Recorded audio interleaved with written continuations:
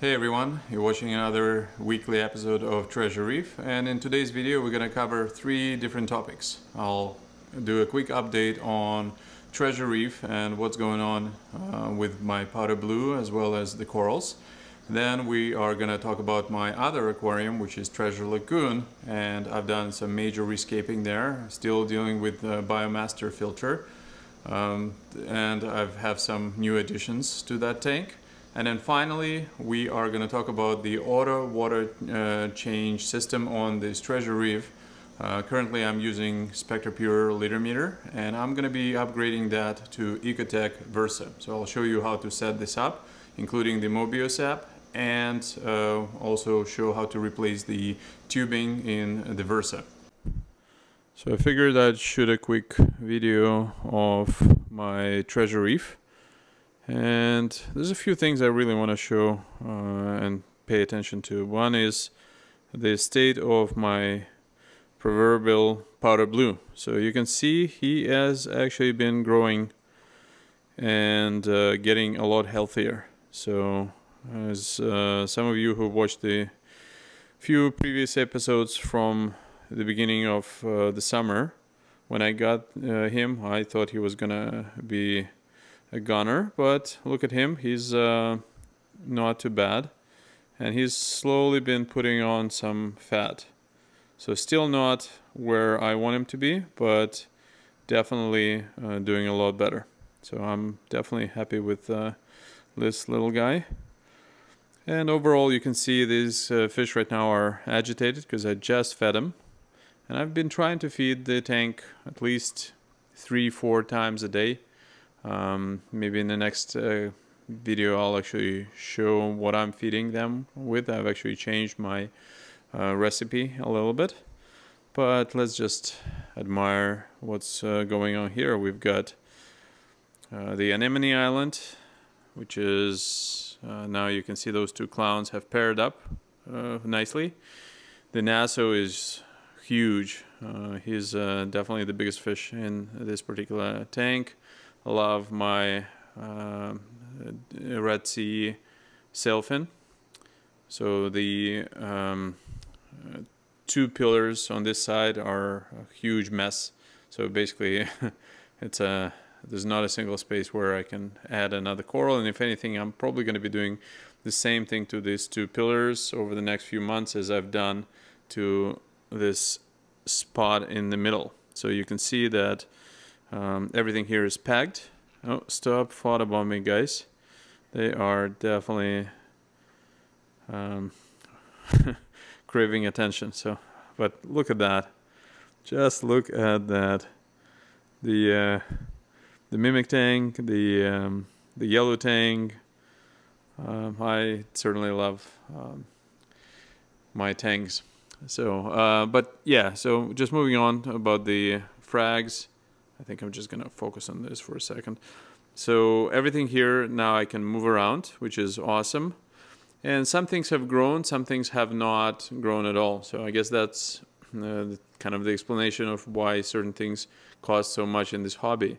Um, you can see I've added a few high-end frags and I don't think there's a single one that has really started growing. So so there you go. Even in an established tank, these things take a while to, to grow. And just as an example, here's my orange passion. And believe it or not, but this frag is probably, it's as old as this tank. So I'd say it's almost three years old. And in three years, this is what you're gonna get from like a standard small frag. So it's it, I, it's not even a colony, it's, it's nothing. So it's a nib. So that's why when you buy corals uh, at your local fish stores, they uh, the expensive ones cost this much. Now this side as well is uh, going to take a while to um, kind of chop up and maybe restart. But maybe in the next couple of videos, I'm going to go deeper on all the different coral species I've got here. The uh, clam is doing very well, so I absolutely love this clam. Let's do a quick check on this side. So pretty nice view. Cyphastrea, I gotta do something here because it's got no space for it to uh, grow. So I'm missing out on, on all the growth on the Cyphastrea. And I think at some point I need to clean the back wall.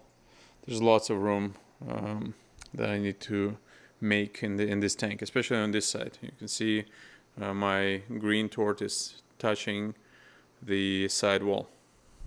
So anyways, here's the tank in its full glory. Still loving the uh, uh, lights, uh, Hydra 64 HD. Um, they're very trusty and maybe in the, the next uh, next week I'll actually uh, show um, my frag system, uh, which is sporting a different type of lighting. So that's gonna be next week, and yeah, maybe that's it's time for the big reveal.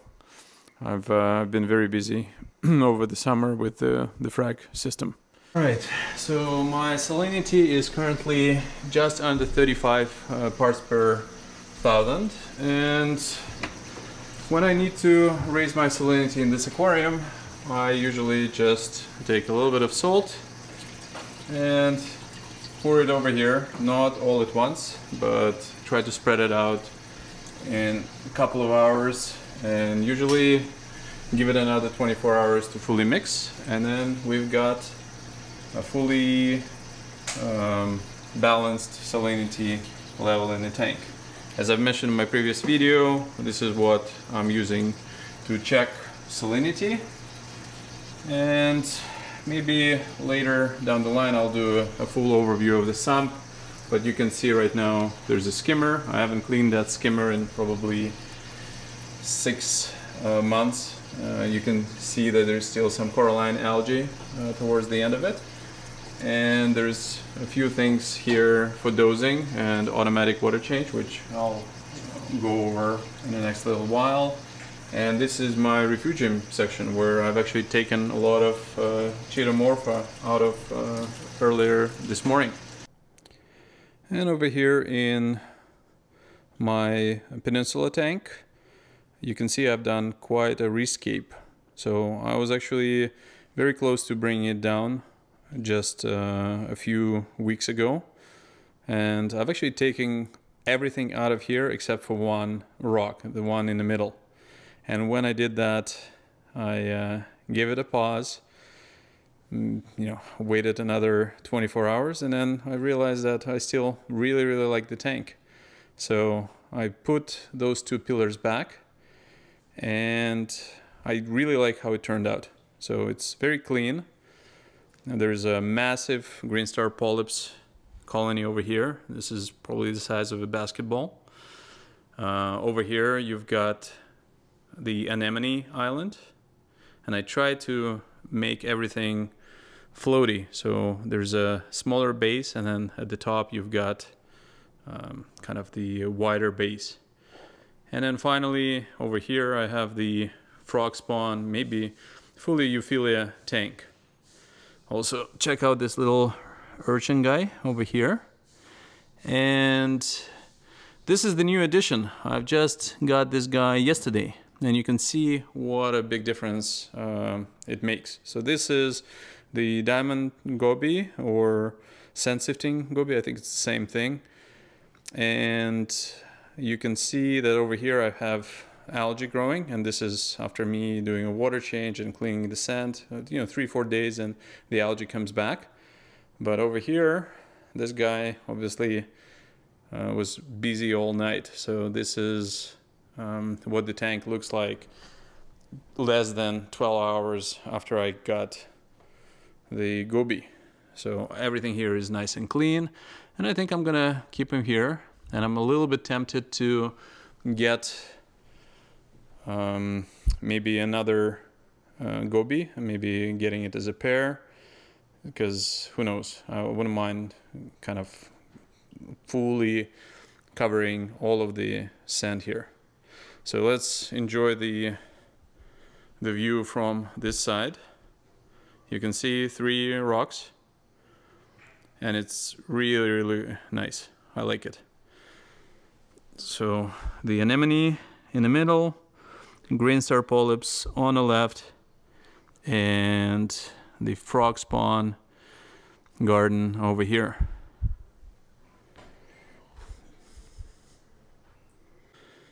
And some of you have asked about my status on the Biomaster filter, this uh, OASE um, thermo filter.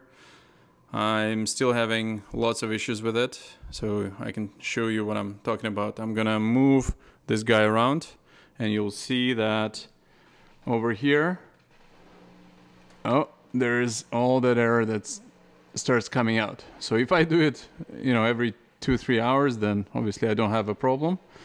But this is pretty ridiculous. Look at that. And I have no idea where this is coming from. There is no rhyme or reason. I've contacted uh, Biomaster, oh, sorry, OASE, and they've sent me so many things. They've sent me the impeller for this, which I have replaced. They've sent me this priming head saying that this is what I need to replace. I've also applied uh, silicone grease all around it. That didn't help. And now they've sent me this portion here to replace as well, which I did. And you can see it's still the same thing. Now, they are telling me that I should be running the intake and outtake on two opposite sides, which I have tried. It doesn't make any difference. But I'm also surprised that uh, in their troubleshooting, they would make a point of it. You can see the intake is all the way down here and the outtake is all the way at the top. There's probably easy 20 inches between the two. So it doesn't make any sense. But eh, I think the coral uh, seem to be fine with with this air, and I'm still hoping for a full resolution from them. Oh, and here is the my auto top off. So I've got just uh, I think it's a five gallon no it's a 10 gallon aquarium. I think it's a 10 gallon that I have my trusty Tunze osmolator in and I just top it off every couple of weeks and it lasts for about a couple of weeks. So this is the liter meter in the basement and you can see I have it on. It changes about six, uh, give or take six liters of uh, water every single day. And there's two pumps here. There's one that takes the water out and then there is another one right next to it that takes the water in. So I'm gonna replace those two. Never mind this one here. This is kind of my backup. Uh, this one I used to have on my other system. But over here I have this uh, Versa base plate, which as I have mentioned before, I absolutely love this little, please focus, right here. I absolutely love this uh, level. They didn't have to do it, but they did it, and it's uh, it's phenomenal. But, anyways, uh, over here I have this plugged in, and I will be adding two of uh, the Versas over here, program it, and we'll try to replace the liter meter and see how the two will compare. So one issue I have with the liter meter is after calibration it's fine but it's very quickly losing the calibration so that's actually one of the reasons I am dosing uh, extra salt to lift it up because I'm getting that drift. So in this video I'm going to show you how to upgrade the tubing on this Versa. So I've done it on the one on the left and I'll show you how to do it on this unit. So there's two issues with this uh, pump. One, uh, you can see that the tubing itself is very old, it's dirty, and it's time to get it replaced. And then the second issue is that this here is one of the first generations of the tubing. You can see it's actually looks like acrylic, whereas this one is slightly uh, opaque. So I think it's some sort of a, I guess, polycarbonate or um, I don't, I don't remember what it's called, but basically a different type of plastic. So if you have this particular tubing uh, with this clear plastic, um, you may want to double check because uh, I had one of these crack on me a while back. So when upgrading, I prefer to wear this uh, set of gloves, at least on the right hand, just because we're going to be dealing with some silicone grease and I don't want to get it on my hands. So we'll use, we'll put the other one aside. So here's the uh, first unit, the one that we're trying to replace. It's easier to remove this while your hands are still not greasy. So we're removing this portion here. It does come with its own retainer, but we'll just put it aside and we'll use the new one. This is the little uh, packet that I'm going to open up right here and I want to make sure that yeah you can see this silicone is coming out from here I'll just put it aside for now try not to get too dirty now taking this thing out this is garbage taking the new one in and it's actually not that hard to install I find so I just make sure that uh, you want uh, these little clamps to be facing you, so facing the top. These little clamps. And now placing your fingers over here, here. That's pretty much it for what's required. You can see it's a pretty decent job and it's very easy. So now this is where the silicon comes in.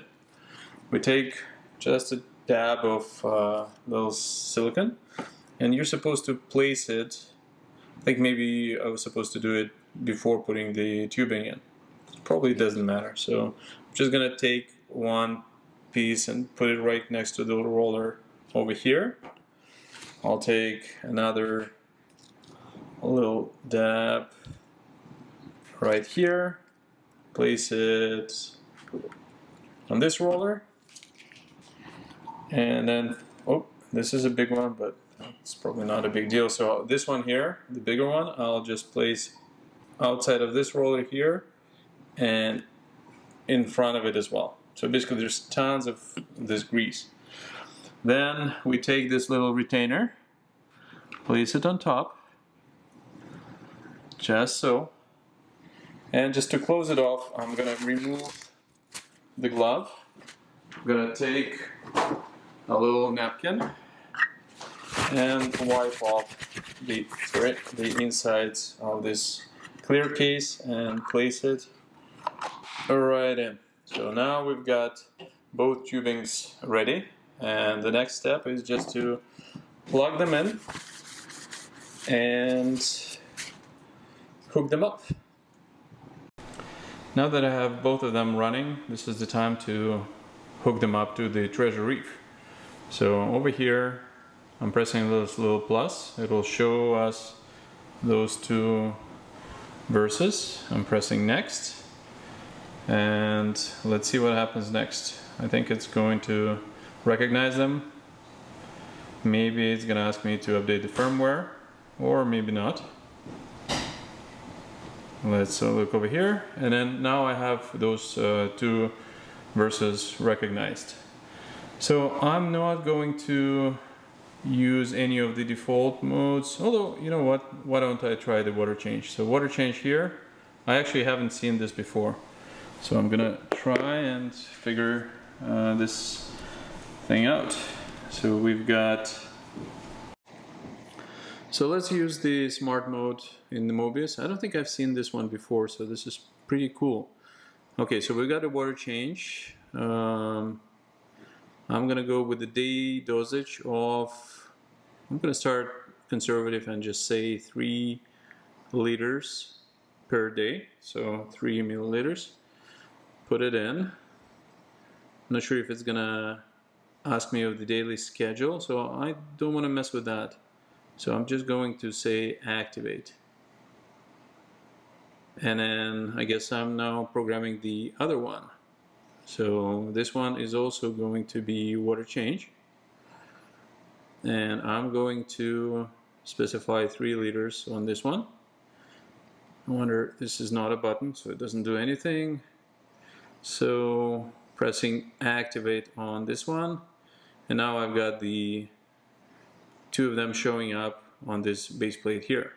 Now the issue, it's not a true issue, but uh, an issue that I do find with this is I wouldn't mind kind of easily naming it or making the color different to designate which one is putting the water in and which one is putting the water out. But because both of them are going to be equal, right now it's probably not going to matter much.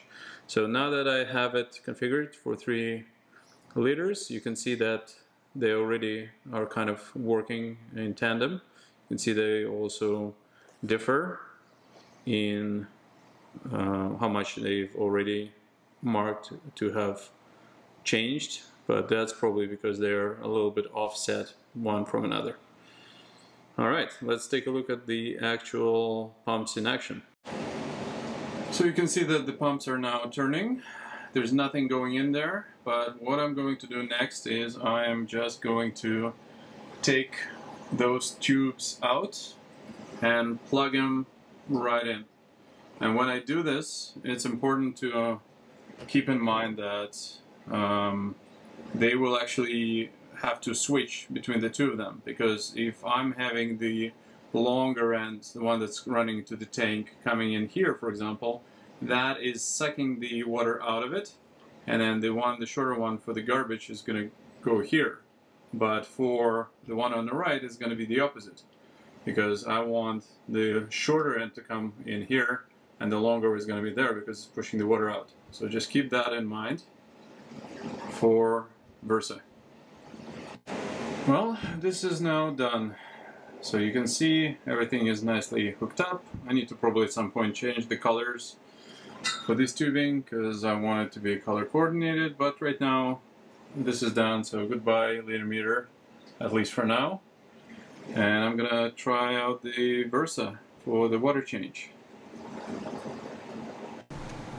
So one thing I still need to do is actually change the names for the pumps just because uh, if I need to prime one of them I need to know which one to operate or let's say if I want to pause it. So show you how I'm doing it here. So going to settings. Uh, I already have done it for those two pumps. I've given them names. So what you do is you click on the pump you want and then you press the identify button and then the pump will start flashing color so I've pressed on one, gave it the name old water, and then there's a new water. And now from here, as I'm going towards the list of all my schedules, I pick the first one, and you can see here it's uh, it says EB at the end, or WEB. So I'm gonna go into settings, once again, devices, I'm gonna find the WEB, so this is new water. So if I'm going here and I can see that this is new water, I'm gonna rename it. So now I have to just figure out how to do it. So I'm gonna go to settings, it's not there. So how does one rename a uh, schedule here? Probably go into dosing schedule and right here under additive, ah, it doesn't give me the ability to uh, rename this smart additive but this is exactly what I want. So probably what we have now is uh, a bug that I'm gonna or a feature request I'm gonna file with Ecotech because to my point here I've got those two schedules. I want to be able to differentiate with them. I know that the first one is the new and the second one is old but I want this to be um, uh, I wanted to say in, in here and maybe even change the color. I want the new one to be blue and the old one to be yellow, for example. So here's a note for Ecotech on uh, maybe what can be improved in the Mobius. So a few days later, this is what uh, sand sifting goby has done to the tank. You can see the right side is has this green algae uh, all over the sand. And then the left side looks pretty cool and pristine uh, white sand. However, you can see that he's built a sand castle on the left side. So he's picked the third pillar, which is um, the frog spawn pillar on the left. And he's moved all the sand from the glass over here to build kind of a, a hill towards the base of the rock. Let's take a quick look at the guy. He is hiding right over here. So, yeah, oop, and he is coming out and back, out and back. So it's just the thing that he does, I guess. So I wonder how long he's gonna last on this side and whether um, he's gonna move over to the other side or he's just gonna stay here forever. And I wonder what's gonna happen if I'm gonna, and I will at some point move the sand around. So an another side effect of all of this, uh, the water has been a little bit cloudier, which is to be expected, but I think it's just gonna be a few uh, weeks before I think all this uh, stuff is filtered out. So I'll keep an eye on the filter, make a few more changes to the media and sponge cleaning, and then hopefully things will settle in in, in a few weeks. Well, I hope you've uh, enjoyed that uh, weekly video. Uh, if you haven't subscribed already, please uh, subscribe and um, leave your comments below on what other topics you want me to cover in the next uh, weekly installment. One thing I'm going to do very soon is do the big reveal of the frag uh, system and um, I'm pretty impressed with it myself and I think you'll uh, enjoy it as well. So thank you for watching.